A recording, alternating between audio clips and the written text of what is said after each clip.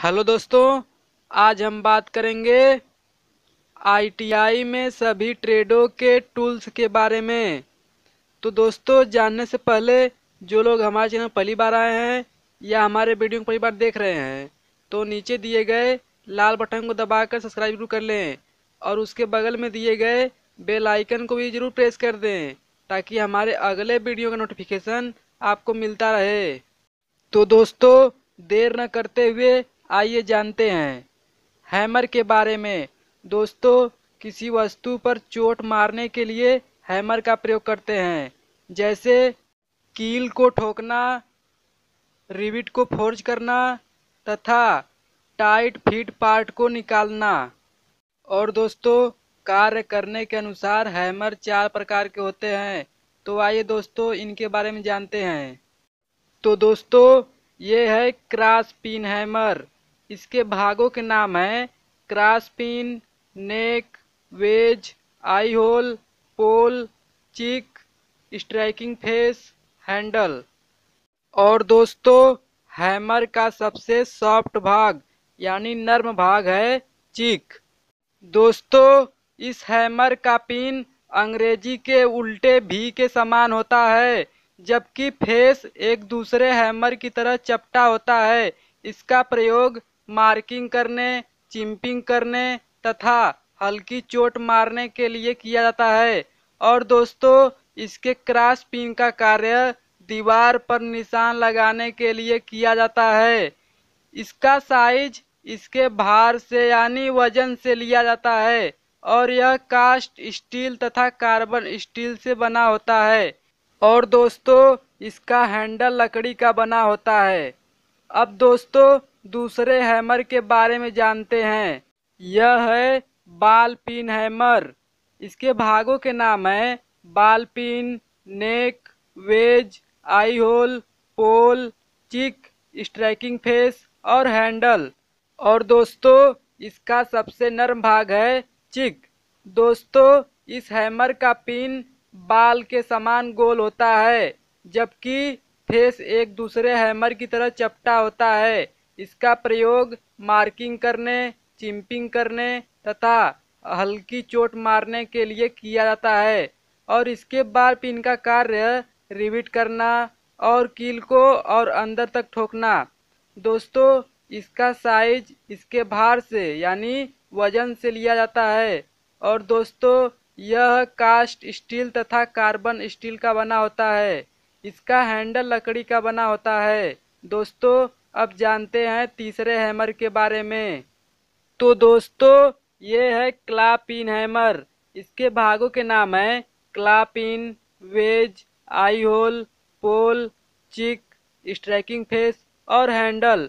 दोस्तों, इसका सबसे नरम भाग है चिक। दोस्तों, इस हैमर का पिन अंग्रेज़ी के सीधे भी अक्षर की तरह होता है, जबकि फेस एक दूसरे हैमर की तरह चपटा होता है।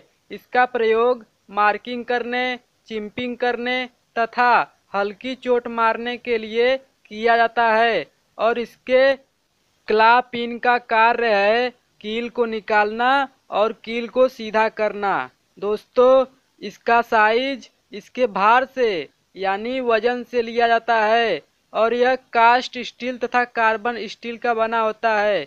और दोस्तों इसका हैंडल लकड़ी का बना होता है। अब दोस्तों, जानते हैं चौथे हैमर के बारे में। दोस्तों, यह है मैलेट हैमर। इसके भागों के नाम हैं pole, eye hole, striking face, handle.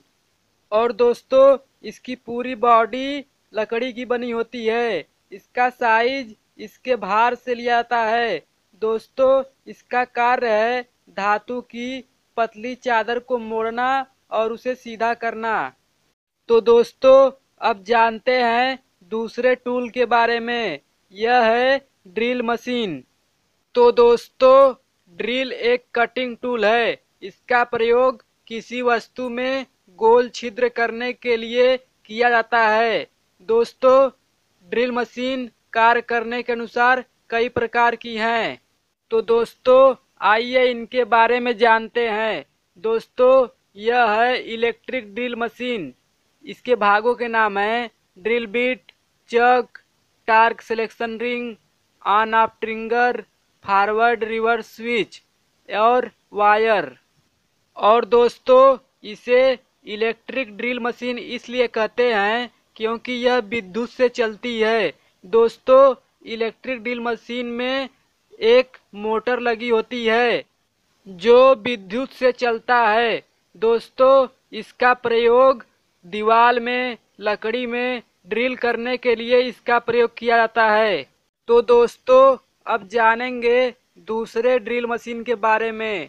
दोस्तों, इसका नाम है हैंड ड्रिल मशीन।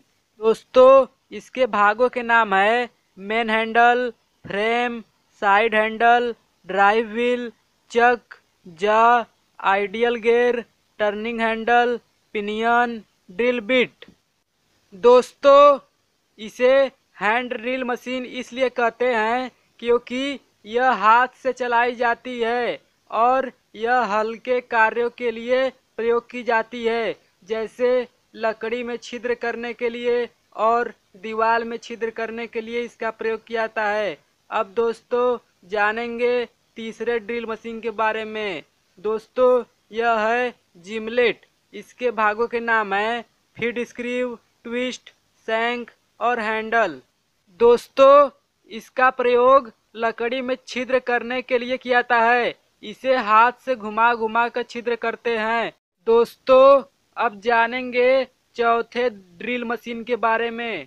दोस्तों, इसका नाम है रैचेट ब्रेस। इसके भागों के नाम है आंगर bit shell, handle, head, ratchet chuck दोस्तों, इसका प्रयोग लकड़ी में छिद्र करने के लिए किया जाता है।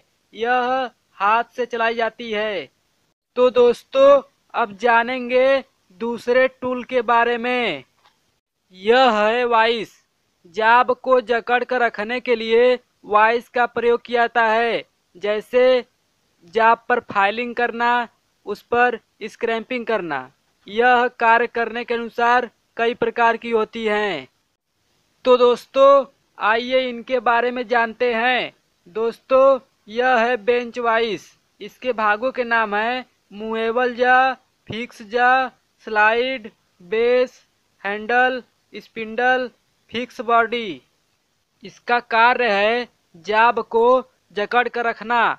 इसकी बॉडी ढलवा लोहा, यानी कास्ट आयरन की बनाई जाती है। और दोस्तों, इसका स्पिंडल माइल्ड स्टील का बना होता है। इसका साइज़ जबड़ों से ली जाती है।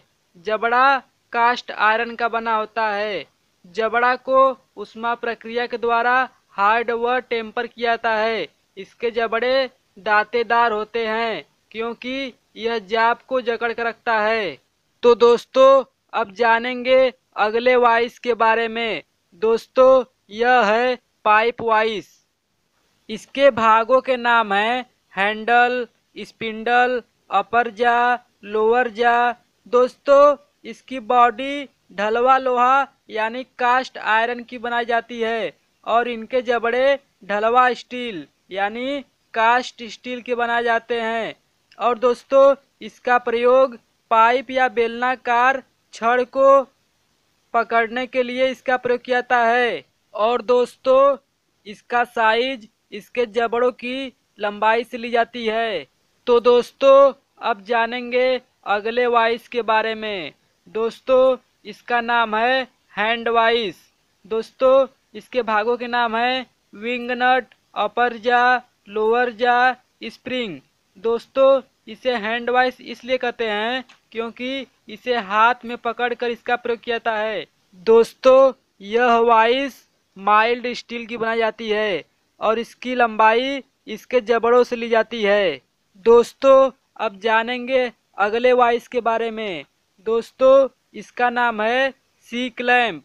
इसके भागों के नाम है स्क्रीव, हैंडल, स्पिंडल, फ्रेम। दोस्तों, इसे भी हाथ में पकड़कर प्रयोग किया जाता है।